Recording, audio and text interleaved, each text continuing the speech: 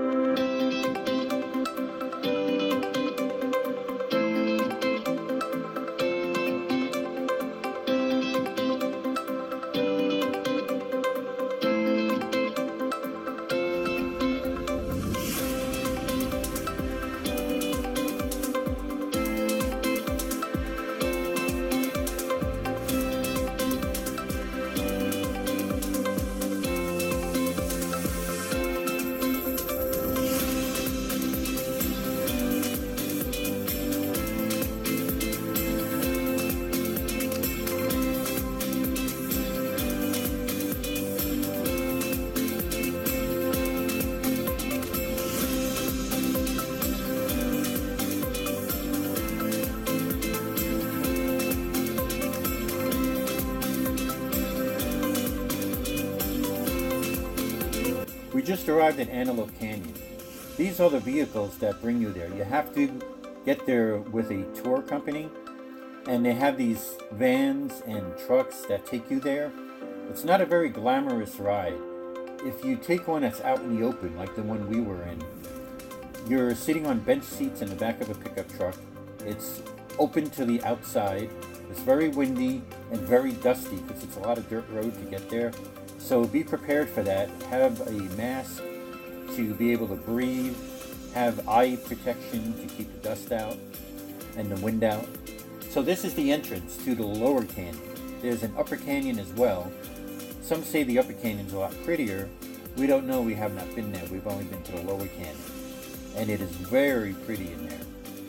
The guide, because you have to have a guide, they take a group of people and your guide guides you through. They give you the history of the canyon. They also pick out the best spots to take photos. So they'll tell you where to stand. They'll take the picture for you with your phone or your camera to get the best picture. We didn't include any of those in there because for some reason in our pictures we did not look so flattering, so we left those out. But these are pictures of inside the canyon. As you can see, it's very beautiful. It's created by floods that go through there. It just gets flash floods periodically, and over thousands and millions of years, it created these shapes and these colors. Just beautiful. This is our ride back from the canyon. It was beautiful. We had a great time. Look directly in front of you on the mountain. It looks like a perfect heart. As far as I know, that's naturally made. And as I mentioned earlier, this is a dusty, windy part of the ride home. It's actually more like sand, like beach sand. There's cattle that run around out there. There's a cow on top of the hill. The sun is just starting to set over the mountain. It looks beautiful the way the shadows cast on the ground and on the mountains. You can't get enough pictures of that. This is a barbecue restaurant on the way to Antelope Canyon. They smoke their meat outside in this big, huge smoker, and they have outside seating and live music as well. It's called Big John's, and I highly recommend it. The next day, we went to the Page Marina. That's a beautiful place. There's a couple of restaurants. They have outside seating with views of the water. So we decided to cross over to Utah, and the drive was just amazing. Look at the rock formations. It's amazing how nature can just carve those rocks the way they are. So sit back, enjoy the view, and just appreciate nature's beauty of the earth. We came to the town of Wahweap. We stopped at the visitor center, some dinosaur bones and skulls, and a lot of information about dinosaurs. It's really interesting in that visitor center there. So if you get a chance and you're out in that way, stop in and check it out.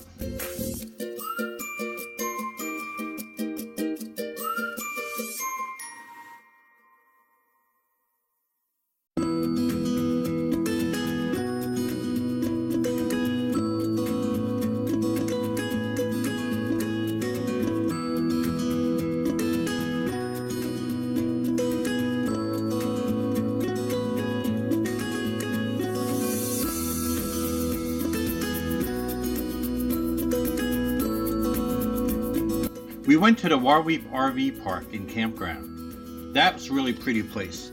We didn't get many pictures of the park itself. We just went right to the water and just enjoyed the views. It was so pretty out there.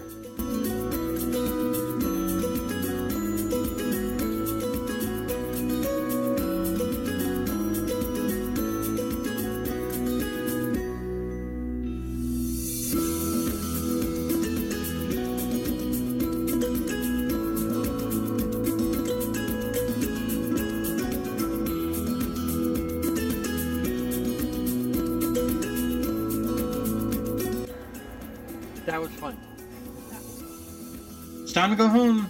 We had a great time. Enjoy the rest of the video and thanks for watching.